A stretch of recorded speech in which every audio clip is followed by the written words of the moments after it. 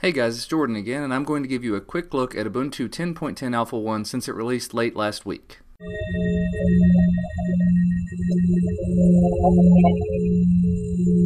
Alright, so while I'm starting up my virtual machine, I'm going to go ahead and pull up the web page and just show you some of the new features that are coming in Maverick Meerkat.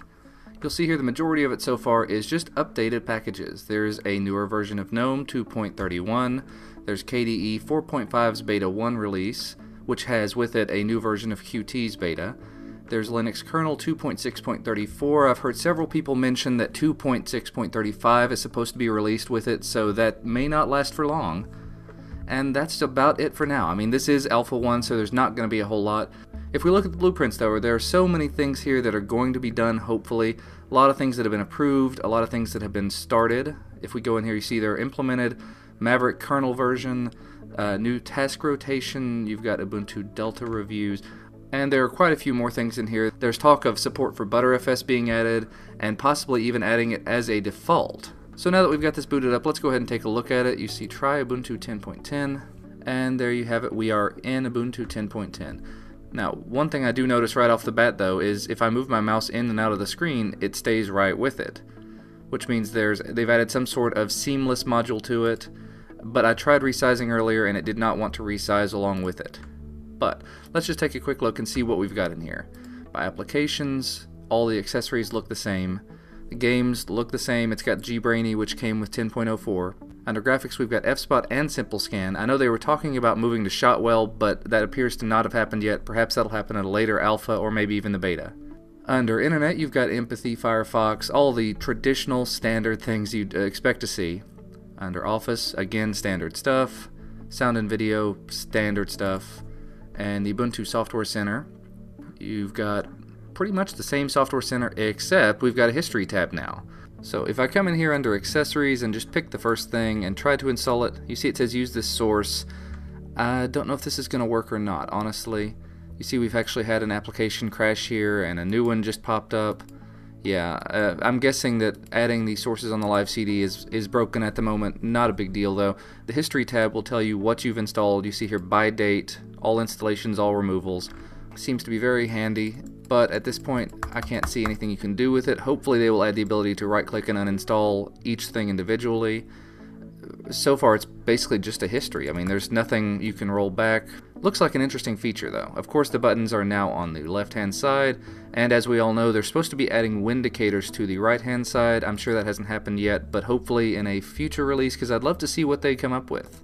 But under your places, you've got these standard places. I know there were some people that were upset about not having a more places pop out but everything that I see is right here. And if you have more than a certain amount, it actually does pop out to the side, if I remember correctly.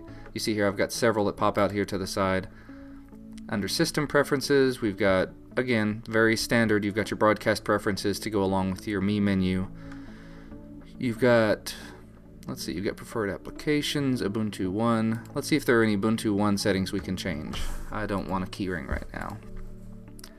Yeah, same sort of Ubuntu One preferences that came with the last version, your different devices that you use, the different services that you want to sync, and I have no interest in logging into Ubuntu One right now. Let's just check it versus the existing Ubuntu One and see what that looks like.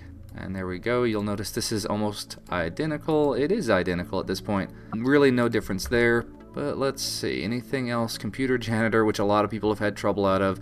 By the way, if you're thinking of using Computer Janitor, I would definitely think again. So many people I know have had problems out of it. And you know, this being my first time looking at it, I'm assuming this has something to do with it being on a live CD. Let me just pull it up on my local machine. Yeah, it just shows me what I can do with it. Realistically, this application could stand to have a little bit more information when you pop it up the first time. Because it's not, it's just saying what it's going to do, I suppose. That it's going to remove these applications because they're no longer supported. I've heard of so many people having trouble out of this, so I would recommend not jumping into it if you're not familiar with it, not comfortable with it. But that's pretty much all there is to Ubuntu 10.10. Obviously, we come in here to GNOME, it's going to show you 2.30.0. It's not moved to 2.31 yet because it's just not available yet.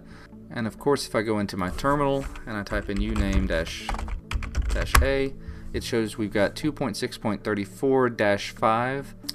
So it does already have that newer kernel. It might even have a newer one after that. And really, that's about all there is to this new version of Ubuntu so far.